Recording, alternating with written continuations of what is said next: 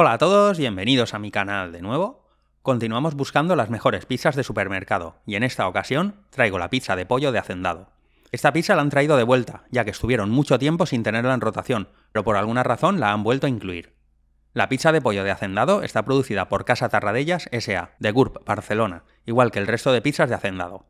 Viene en un formato de 430 gramos, con un precio de 2,90 euros, lo que da un precio por kilo de 6,74 euros, que está dentro de lo habitual en las pizzas de Hacendado. Podemos encontrarlo en la zona de refrigerados de Mercadona y tiene una fecha de caducidad de dos semanas. Ahora pasamos al listado de ingredientes.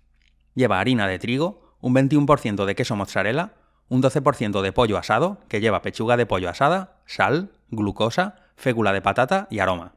Luego lleva agua, tomate, pimientos rojo y verde asados, aroma, cebolla asada, aceite de girasol, sal, vinagre de vino, levadura, lactosa, especias y aroma de humo. Esta es una de las pocas pizzas de hacendado que no lleva ningún conservador, una cosa que siempre es de agradecer. La información nutricional viene por cada 100 gramos.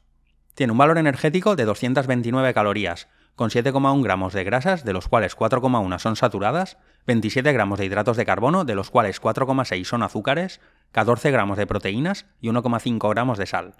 La pizza entera tiene 984,7 calorías, con 30,53 gramos de grasas, de los cuales 17,63 son saturadas, 116,1 gramos de hidratos de carbono, de los cuales 19,78 son azúcares, 60,2 gramos de proteínas y 6,45 gramos de sal.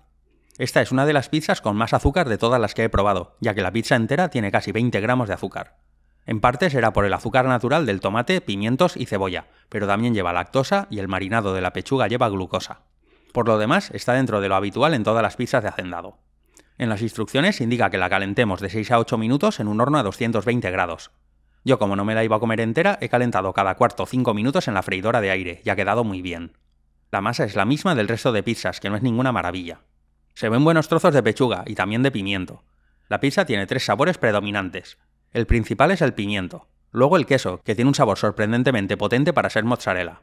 En realidad tiene dos tipos de queso, ya que el de la base está más rayado y luego lleva unas láminas más grandes por la parte de arriba, que parece como que están más curadas o algo, y le da un sabor distinto al habitual. Si pillas trozos de pollo, se nota el marinado, que tiene buen sabor.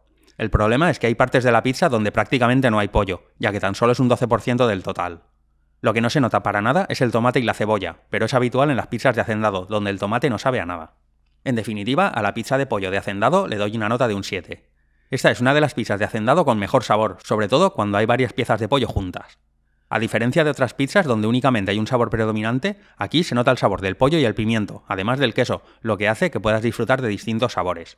En el vídeo que hice con todas las pizzas de hacendado, esta estaría de las 5 primeras en sabor, y me alegro que la hayan vuelto a traer.